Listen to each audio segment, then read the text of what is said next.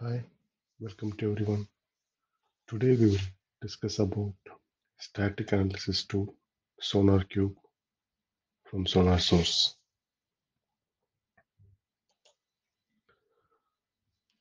Sonar Source is a home of clean code and is trusted by 7 million developers. Sonar helps to build high quality code quickly and systematically. The leading products are uh, SonarQube, Sonar Cloud, and Sonar Lint.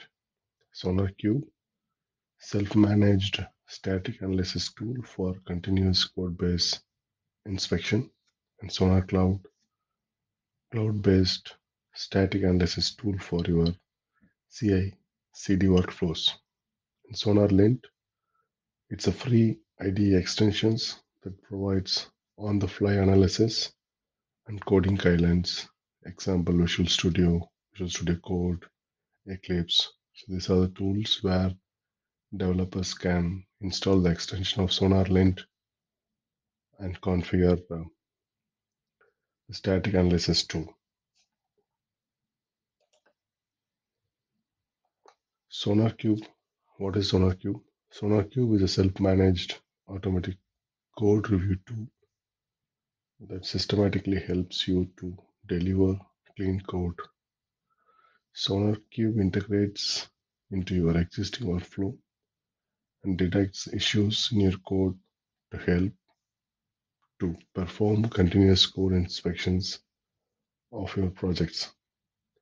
SonarQube is a open source platform that helps developers to monitor and manage the quality of their code. It provides a comprehensive set of tools for analyzing the code, identifying the issues, tracking the code changes, and measuring the overall health of the software project. SonarQube can analyze code written in variety of programming languages, including Java, C++, C Sharp, JavaScript, Python, and other languages. It uses a set of rules and metrics to evaluate the quality of code and generate reports and visualization that make it easier to identify and prioritize the issues.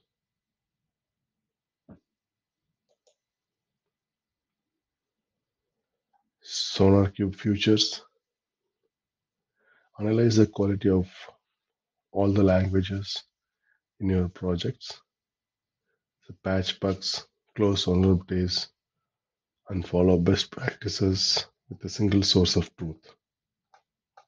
So it supports more than 30 plus languages, frameworks, and infrastructure as code frameworks. The second was integration with DevOps platform, easy project onboarding with integrations to GitHub, GitLab, Azure, and Bitbucket in both in cloud and on-prem, plus a Jenkins plugin and easy integrations with popular CI tools and build systems. The third one is Quality Gate. It's, it's used to mainly to fail the pipelines when the code quality doesn't meet your defined requirements and prevent problems from being merged or deployed. The fourth one, high operability. Run your instance your way as a service on Docker or with Kubernetes with vertical and horizontal scaling support, plus multi-threaded server-side processing.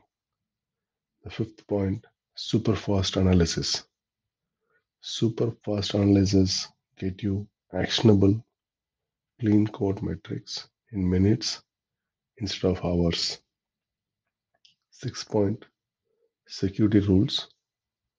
Receive actionable high precision feedback at the right place and time. Benefit from 5000 plus coding rules and industry leading taint analysis of Java, C Sharp, PHP, Python, JavaScript, and the TypeScripts. Shared and unified configurations align your team with the consistent definitions of code health. Collaborate efficiently in making your code clean and meeting your team's code quality expectations. Sonar Lint IDE integrations. Add the Sonar Lint extensions to your favorite IDE and find code issues on the fly. SonarQube rules and analysis settings synchronized to Sonar Lint, aligning teams around a single standard of clean code. So these are the some of the important SonarQube features before we start using the SonarQube.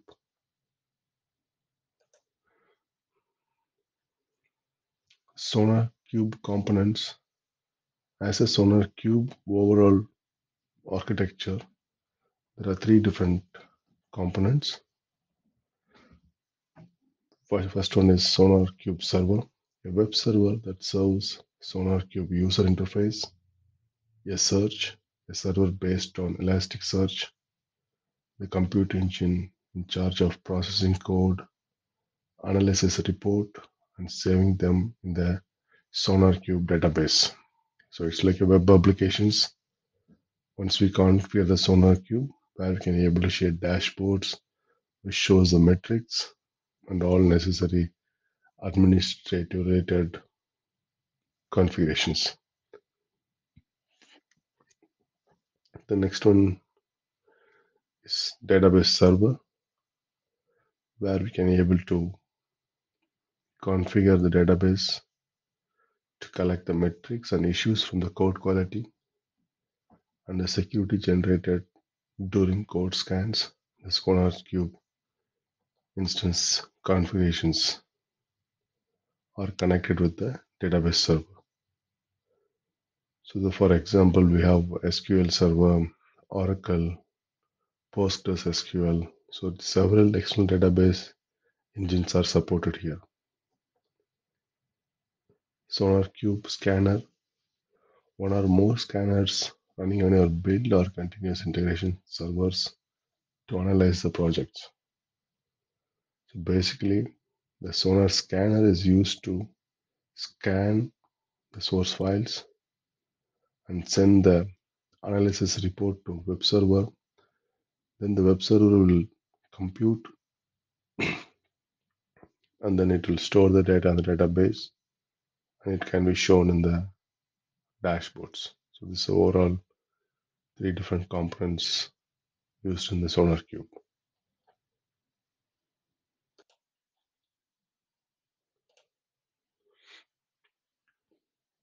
SonarQube. SonarQube analysis. How SonarQube analysis works as a core engine. SonarQube analysis works by scanning the source code of a project and applying a set of predefined rules to evaluate its quality. Here are the basic steps involved in the analysis process. First one is code retrieval. Code is retrieved from a version control system or a local file systems. It could be your uh, Bitbucket or GitLab or any version control systems where you have your code. You need to clone or pull the code. So that's the main first point in the code retrieval. The second point is compilations. The code is parsed and compiled using the appropriate language compiler or interpreter. So for example, when you take a Java projects, which is used by the Java compiler, where we can able to compile the source code and get the necessary compilation process. Next one is analysis. The code is analyzed by the SonarQube static code analysis engine. The analysis engine examines the code for potential issues such as bugs, vulnerabilities, code smells, and other quality issues, including security violations. The issues identified in the analysis are classified based on their severity and are assigned to specific areas of code such as files or metrics or methods. The Fourth point is metrics. Metrics are calculated based on the code analysis, such as code coverage, code complexity, and code duplications. The result of the analysis are displayed in the dashboard or a report, allowing developers to easily identify and prioritize the issues for remediations. SonarQube analysis can be executed locally on a developer machines, or it can be integrated into a continuous integration CI pipeline, allowing developers to get feedback on code quality in the real time. SonarQube also provides the ability to configure custom rules and metrics, allowing the team members to tailor the analysis process to their specific needs.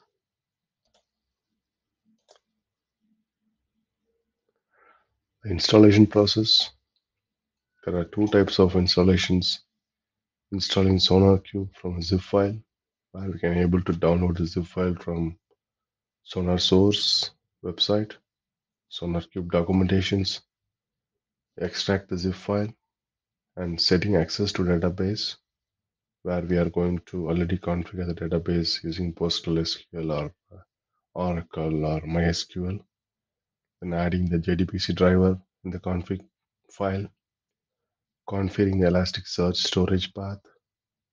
Once all the configurations, necessary configurations is done in the config file, then start the web server, which will provide a complete neat dashboards where we can able to create a project, provide access to the users, connect LDAP, then get more metrics out of that. And then the second way of configuring a SonarQube is installing SonarQube for the Docker image. So this is a state away process as a containerization where we can able to get a Docker image and then make it up. So it will be easy to maintain, it's easy to upgrade. So it's I, I would prefer like uh, installing SonarQube from Docker image is more flexible as a DevOps engineer.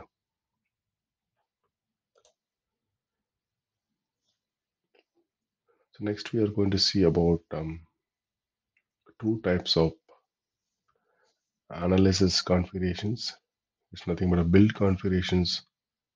SonarQube supports multiple popular languages, development frameworks, and IAC platforms like Terraform, Docker, Kubernetes, Java, C++, TypeScript. So when it comes to the C or C++ Objective-C, so we need to consider um, what are the ways to do a configurations. For analyzing a C or C++ Objective-C, the project requires a Sonar Scanner CLI. It's a small tool where we can able to download from the SonarQube documentation page.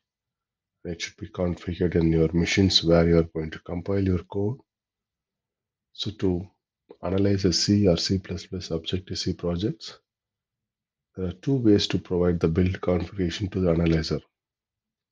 One is called um, Sonar Source Build Wrapper. The Sonar Source Build Wrapper enforces running the build before the analysis which ensure that the code is in the good shape for analysis. The code is compilable, the configuration file is not outdated, and the generated source files are available during the analysis. So in this case, we need to download a build wrapper directly from our configured server on the specific path and then configure the same in the machine where we are going to run the Sonar Scanner CLI.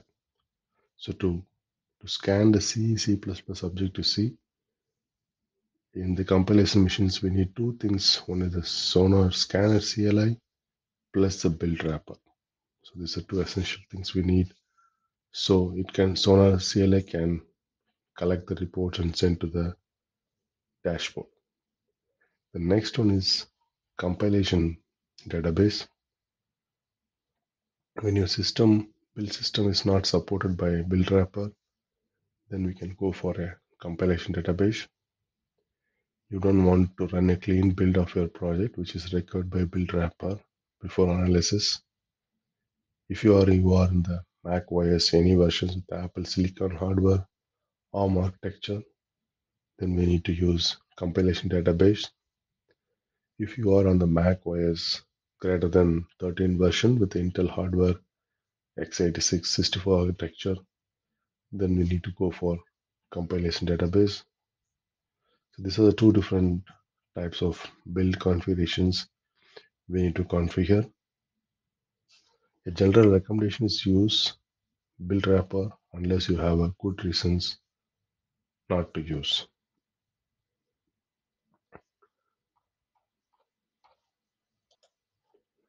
So for other languages like Java, Python, JavaScript, TypeScripts, we can directly call them Sonar Scanner CLI command lines, or we can define the properties to run the CLI to collect the reports and share it to the SonarQube server. So these are the basic, very basic introduction about the SonarQube.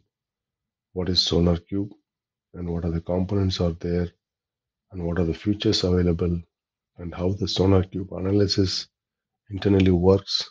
And how to install and configure a SonarQube server and then Sonar CLI and how to run a C or C++ project using Sonar Scan, CLI and the SonarQube server.